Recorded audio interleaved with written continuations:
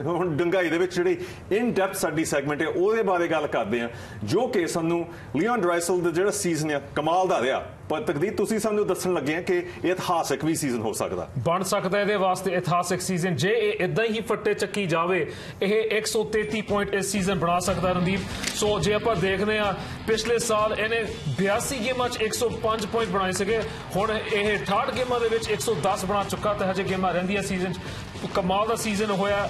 ਇਹ ਲੀਓਨ ਡਰਾਈਸਲ ਦਾ ਜੇ ਅਸੀਂ ਦੇਖਦੇ ਆ ਖੂਚਰੋਵ ਦੇ ਮੁਕਾਬਲੇ ਜਿਹਨੇ ਕੁਝ ਸੀਜ਼ਨ ਪਹਿਲਾਂ 128 ਪੁਆਇੰਟ ਬਣਾਏ ਸੀਗੇ, ਇਹ ਉਹਨੂੰ ਵੀ ਪਾਰ ਕਰ ਸਕਦਾ। ਸੋ ਕਮਾਲ ਦੀ ਗੱਲ ਹੈ, ਉਹ ਚ ਉਹਦੇ ਸਾਥੀ ਸਟੈਮਕੋਇਸ ਸਟੈਮਕੋਸ ਪੁਆਇੰਟ ਨੇ 90 ਪੁਆਇੰਟ ਤੋਂ ਉੱਤੇ ਬਣਾਏ ਸੀਗੇ ਤੇ ਹੈਡਮੈਨ ਡਿਫੈਂਸਮੈਨ ਨੇ 52 ਪੁਆਇੰਟ ਇੱਥੇ ਕੌਣ? ਮੈਕਡੇਵਿਡ ਤਾਂ ਹੈਗਾ ਨਾਲ, ਇਹ ਹੈਗਾ 95 ਪੁਆਇੰਟ ਤੇ, ਪਰ 98 ਪੁਆਇੰਟ ਤੇ ਹੈਗਾ ਇਸ ਵੇਲੇ ਰਾਇਨ ਨੂਜਨ ਹੌਪਕਿੰਸ ਤੇ ਉਸ ਤੋਂ ਬਾਅਦ 33 ਪੁਆਇੰਟ ਤੇ ਕਲੈਫ ਪੌਮ ਸੋ ਉਹਨਾਂ ਸਾਥ ਨਹੀਂ ਹੈਗਾ। ਸੋ ਕਮਾਲ ਦੀ ਚੀਜ਼ ਹੈ ਕਿ ਇਕੱਲਾ ਭਾਵੇਂ ਮੈਕਡੇਵਿਡ ਬਾਹਰ ਵੀ ਰਿਹਾ, ਇਹਦੇ ਨਾਲ ਉਹ ਵੀ ਫੱਟੇ ਚੱਕੀ ਜਾਂਦਾ ਸੀਗਾ। ਸੋ ਇਤਿਹਾਸਕ ਸੀਜ਼ਨ ਡਰਾਈਸਲ ਵਾਸਤੇ ਬਣ ਸਕਦਾ। ਕਮਾਲ ਦੀ ਖੇਡ ਦਿਖਾਈ ਆ ਪਰ ਜੇ ਤੁਸੀਂ ਇਹਨਾਂ ਦੀ ਤਨਖਾਹ ਵੱਲ ਵੀ ਦੇਖਦੇ ਆ ਇਹ ਤਾਂ ਹੋਰ ਕਮਾਲ ਦੀ ਗੱਲ ਆ। ਬੜੀ ਡੀਲ ਵਧੀਆ ਮਿਲੀ ਪਰ ਜਦੋਂ ਇਹ ਕੰਟਰੈਕਟ ਸਾਈਨ ਕੀਤਾ ਸੀ 8.5 ਮਿਲੀਅਨ ਡਾਲਰ ਤਨਖਾਹ ਜਿਹੜੀ ਲੀਓਨ ਡਰਾਈਸੈਡਲ ਦੀ। ਹਲੇ 5 ਸਾਲ ਹੋਰ ਬਾਕੀ ਹੈ ਜਦੋਂ ਡੀਲ ਸਾਈਨ ਕੀਤੀ ਸੀ ਉਦੋਂ ਲੱਗਦਾ ਸੀ ਸ਼ਾਇਦ ਐਡਮਿੰਟਨ ਨੇ ਥੋੜੇ ਜ਼ਿਆਦਾ ਪੈਸੇ ਦੇ ਦਿੱਤੇ।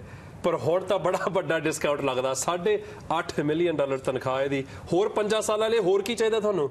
ਤੇ ਤੇ ਕਮਾਲ ਦੀ ਗੱਲ ਹੈ ਜੇ ਇਹ 50 ਗੋਲ ਫੇਰ ਬਣਾ ਗਿਆ ਇਹ ਇਕੱਲਾ ਖਿਡਾਰੀ ਆ ਓਵੈਚਕਿਨ ਤੋਂ ਬਾਅਦ ਜਿਹਨੇ 2 ਸਾਲ ਲਗਾਤਾਰ 50 ਗੋਲ ਤੇ 100 ਪੁਆਇੰਟ ਬਣਾਇਆ ਓਵੈਚਕਿਨ ਨੇ 2006 ਤੇ 2007 ਵਿੱਚ ਕੀਤਾ ਸੀ। ਤੇ ਗੱਲ ਕੀਤੀ ਸੀ ਜਦੋਂ ਮਕਡੇਵਿਡ ਬਾਹਰ ਸੀ ਸੱਟਾ ਕਰਨ ਉਹ 6 ਗੇਮਾਂ 'ਚ ਉਦੋਂ ਵੀ ਇਹਨੇ 12 ਪੁਆਇੰਟ ਇਕੱਤਰ ਕੀਤੇ। ਮੈਨੂੰ ਤਾਂ ਲੱਗਦਾ ਸੀ ਸ਼ਾਇਦ ਇਸ ਟੀਮ ਨੇ ਬਸ ਇੱਥੇ ਅੜ ਜਾਣਾ।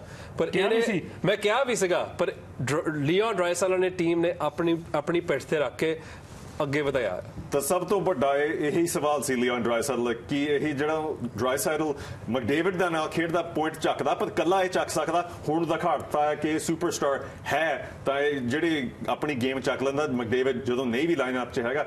ਪਰ ਇਹ ਸਵਾਲ ਇਹ ਆ ਕਿ ਦੋ ਸੁਪਰਸਟਾਰ ਇੱਕ ਟੀਮ ਤੇ, ਪਿਛਲੀ ਵਾਰੀ ਅਸੀਂ ਦੇਖਿਆ ਸੀ ਪਿਟਸਬਰਗ ਪੈਂਗੁਇਨਸ ਦੇ ਨਾਲ, ਜਦੋਂ ਸਿਡਨੀ ਕ੍ਰਾਸਬੀ ਅਤੇ ਯਵਗੇਨੀ ਮੈਲਕਨ ਇੱਕ ਟੀਮ ਤੇ, ਉਹ ਅਸੀਂ ਦੇਖਿਆ ਸੀ ਕਿ ਇਹ ਕੱਪ ਜਿੱਤ ਸਕਦੇ ਆ। ਕੀ ਐਡਮਿੰਟਨ ਦੇ ਵੀ ਇਹ ਹਾਲਤ ਹੈ ਤੁਸੀਂ ਕਹਿ ਸਕਦੇ ਆਉਣ ਵਾਲੇ ਸਮੇਂ 'ਚ ਇਹ ਪਿਟਸਬਰਗ ਮੰਗਦ ਜਿੱਤ ਸਕਦੇ ਨੇ।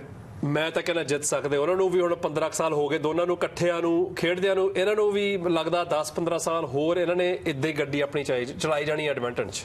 ਮੈਨੂੰ ਲੱਗਦਾ ਕਿ ਜੇ ਗੋਲਚੀ ਗਰਮ ਰਹਿਣ ਤੇ ਯਾਮਾਮੋਟੋ ਵਰਗੇ ਬੇਰ ਵਰਗੇ ਨੌਜਵਾਨ ਸਾਥ ਦੇਣ ਸ਼ਾਇਦ ਬਣ ਸਕਦੀ ਆ, ਪਰ ਨਵੀਂ ਐਨਐਚਐਸ ਥੋੜਾ ਜਿਹਾ ਔਖਾ। ਔਖਾ ਹੈ ਜ਼ਰੂਰ, ਪਰ ਜੇ ਤੁਸੀਂ ਪ੍ਰੋਸਪੈਕਟ ਵੀ ਦੇਖਦੇ ਐਵਨ ਬੂਸ਼ਾਰਡ ਹੋਇਆ ਫਿਲਿਪ ਬਰੋਗਬਰਗ ਡਿਫੈਂਸਿਵ ਪੱਖੋਂ ਯਾਮਾਮੋਟੋ ਤੁਸੀਂ ਗੱਲ ਕੀਤੀ ਫੋਰਡਸ ਪੱਖੋਂ ਦੇਖਦੇ ਹਾਂ ਆਉਣ ਵਾਲੇ ਸਮੇਂ 'ਚ ਕੀ ਬਣਦਾ ਜੀ ਐਡਮਿੰਟਨ 'ਚ, ਪਰ ਇਸ ਮੁਕਾਬਲੇ 'ਚ 1-0 ਜਿੱਤ ਰਹੇ ਆ। ਦੇਖੀ ਜੇ ਕੋਲੰਬੀਆ